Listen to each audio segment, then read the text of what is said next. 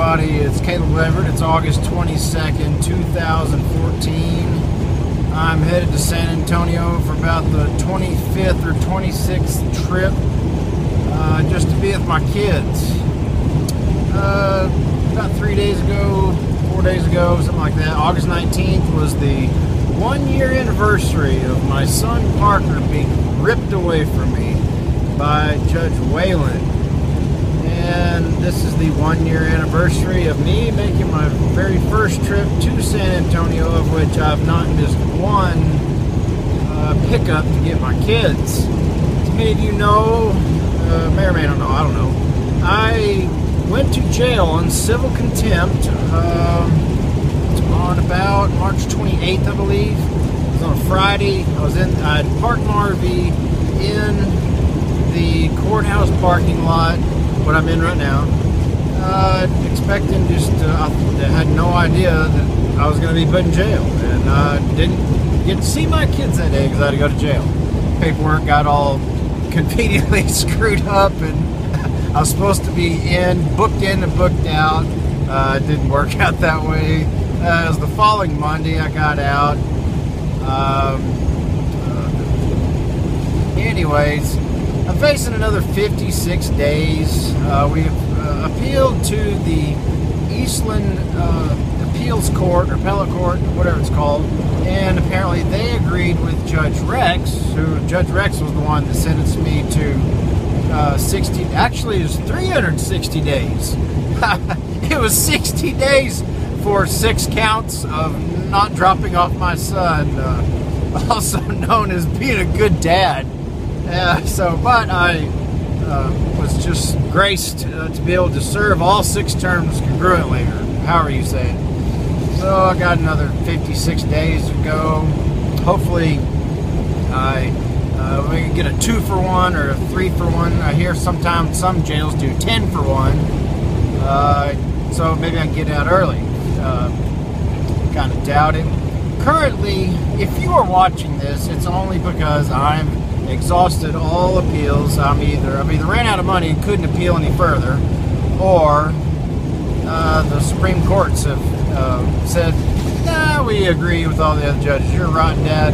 And uh, justice, the best interest of the children, your children, Mr. Leverett, the best interest of them is you go to jail for six, 60 days on civil contempt. Currently, like I said, I don't even know if I'm going to release this video. But like I said, if you are watching it it's because I'm in jail. Uh, what, anyway, before I get to that, currently, as of today, we are appealing to the Texas Supreme Court, and if depends on the verdict there, whether it goes or gets heard or not, um, I may even think about appealing to the United States Supreme Court. I don't know if I can or not. I don't know if I can afford it. Uh, but it, to me, it's worth a fight. Parental alienation, it's, it's just a problem that very, very few people want to talk about. And I know the world's just plagued with problems with Ferguson and Syria and Iraq and every all the crap that's going on. This just happens to be my fight that a lot of people uh, just they just don't want to talk about because it's too controversial, it's too hard, and this radical militant feminism is just destroying the land of the free. I admire, whether or not you agree or disagree with what's going on in Ferguson, I, I admire those people so much. Uh, regardless of what you think of Mike Brown, bless his soul, uh, they're, they're just, they're tired of this crap. They're tired of the oppression. And I'm just tired of going to jail for being a good dad. Even the, the there's three three uh, sheriff's deputies there in the courtroom that watched the whole, I don't know, four or five hour, however long we were in, in court over civil contempt. And I was arrested there in the courtroom as they were walking me out. They were almost apologetic. They felt bad. They said, Man, Mr. Leverett, I've seen a lot of things. One of them said, I've been doing this almost 30 years. I have never in my life seen someone get the book thrown at them. Good God. And they were really nice. Uh, they were courteous. And my back was out at the time. And they were, you know, at least somewhat, you know, sympathetic towards me. They loosened my handcuff a little bit for me so I could actually stand up a little bit. But even during booking, during booking, they didn't know what to put me as because, you know, hey, you've you've got a apparently there's some kind of code for every uh, arrest or a jail or whatever. And this guy said, "Well, I don't know what to put you as because I mean, yours not criminal at all. It's all civil, but the only thing I got for civil is child support." I said, "But I'm current on child support." Uh, but I don't know what else to do. I said, "Well, I'm the one having to go to jail, so could you know help me out here? Do do the right thing." So they went and got their bosses and even they they were saying like, good grief, 60 days for civil contempt? Not dropping his son off. What? But the last I heard, they had to put it down as child support, which it just it's such a load. But yeah, yeah. Um, if you're like I said, if you're watching this, it's because okay, well, that that rotten, violent, horrible human being that just was he's convicted of being a good dad. It's because I'm in jail. Uh, I am a YouTube partner, so yeah, there's to watch my videos. You got to watch a few commercials. Do me a favor. First of all, if you're new to my channel, please subscribe. Um, check out the original video that started all this. 14-year-old uh, Parker stands up for his right for his rights. Uh, it's very lengthy. It's 72 minutes. A lot of people call it our movie. Uh, it finally hit before I had to pause my channel, hit over had over a million views. It's 72 minutes long, and but it it was it was victorious. And then and then be sure and check out Parker versus the Man, where you get to see uh, where what happens, what really happens in these crooked courtrooms where these cockroach attorneys love to be in the dark and they hate it when people like me expose what they do for a living, for a buck. they, they rip kids out because they're minors. They don't have brains of their own. They're not. They're just 14. They can't make. they can't, especially when they get on the stand and explicitly say, "I want to live with my dad." No, no, no. So yeah, they just check out Parker versus the Man. Spread it around. The more views I get, uh, you know, a little bit more of a, an income I'll have in these two months in jail said I don't have a huge following, but I've got a decent, um, a decent following of some just people that are have been in our shoes. Because, like I've said in many of my videos, our situation is not unique and by far. In fact, it's kind of it's it's common.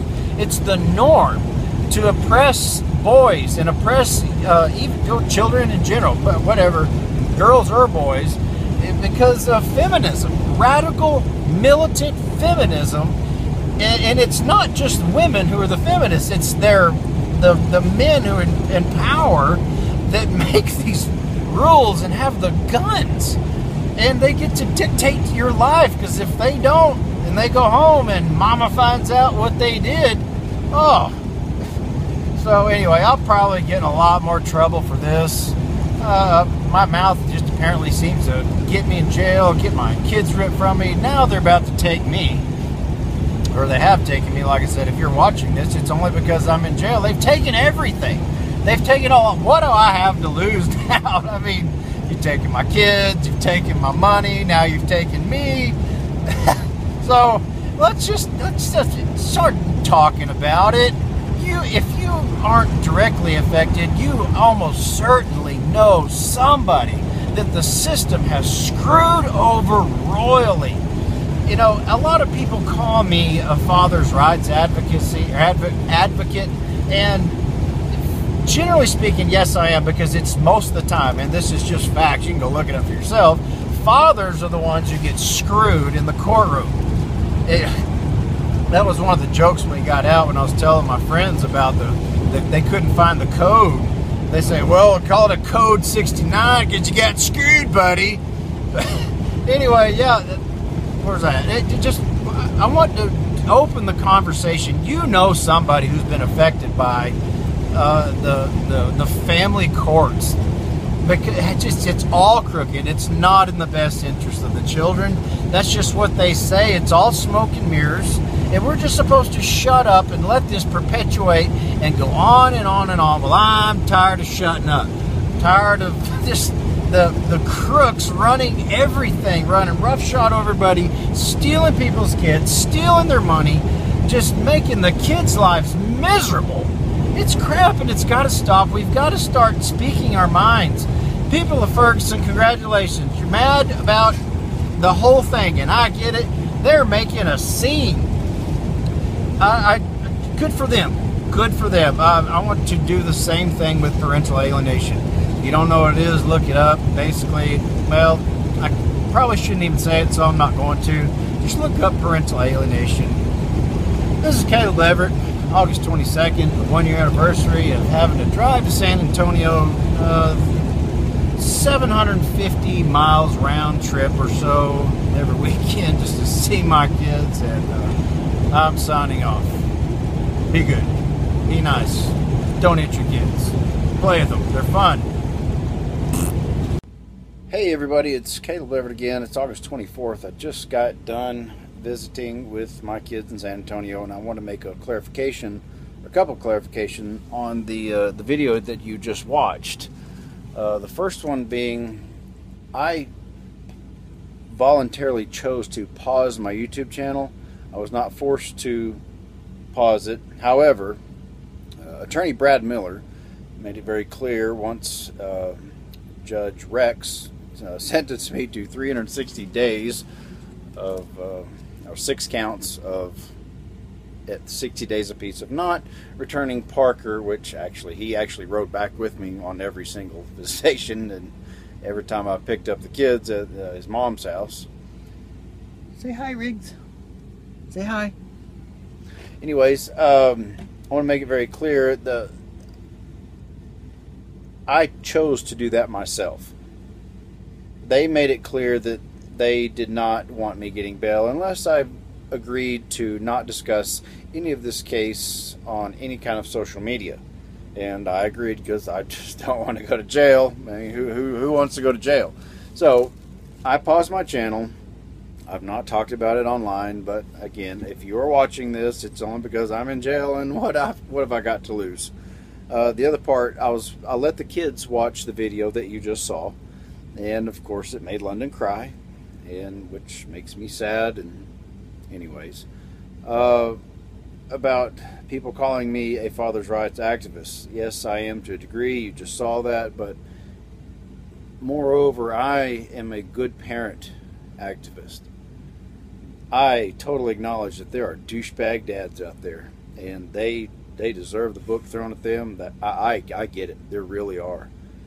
I am pro good parent. If it's the mom that's a good parent, great. If it's the dad that's a good parent, great. If they're both good parents, even better.